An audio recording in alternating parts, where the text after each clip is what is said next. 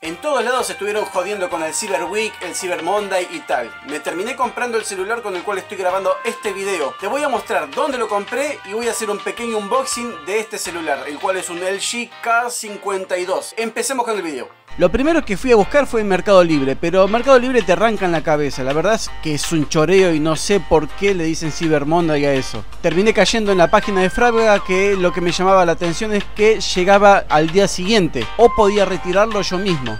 Para que llegue al día siguiente tenía que pagar unos 300 pesos extra, pero como yo no tengo nada de paciencia y soy tremendo rata, decidí retirarlo por mí mismo. Me terminé decidiendo por este LG K52, que según sus características es un muy buen celular.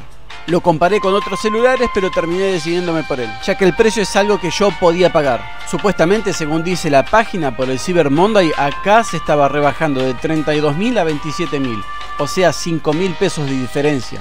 Una vez se dan todos los datos, el pago está procesado y lo que resta es ir a retirar el celular a la sucursal. Yo elegí la de Lomas, que es la que me queda más cerca. Así que me tomé el colectivo y una vez llegué a Lomas, me dirigí hacia la sucursal de Frávega. Salimos de Frávega y este, está bastante bueno el celular. Ahora en casa lo vamos a ver bien. Superado el obstáculo de Frávega, fui a la plaza a tomar el colectivo y de vuelta para casa. Bueno, aparte de eso me compré unos auriculares que no vienen al caso, pero también está dentro de lo que es el Cyber Monday. En este caso, supuestamente, el descuento era de unos 400 pesos. Bueno, ¿y cómo es el celular que me compré?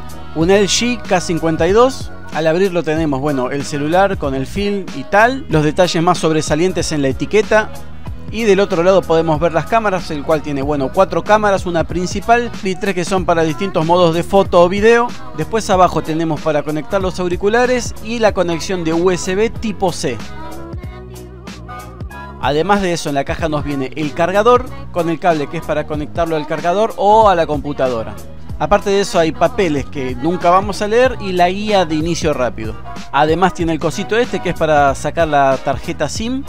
Y lo bueno es que viene con una funda, un protector para, bueno, el propio celular y bueno, protegerlo de los golpes. Cosa que lo voy a poner al toque.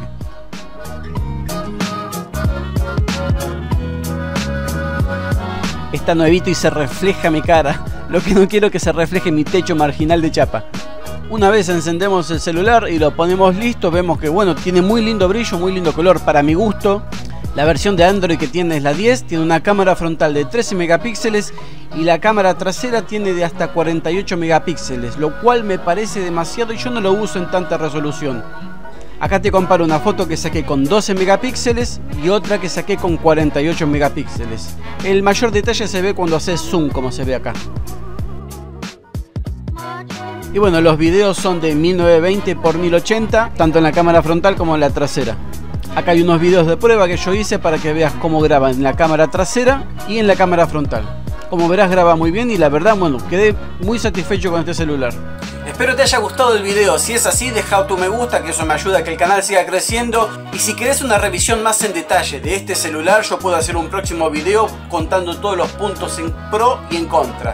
Eh, si querés suscribirte acá hay un botón para que te suscribas y abajo hay un video relacionado que YouTube te recomienda para vos.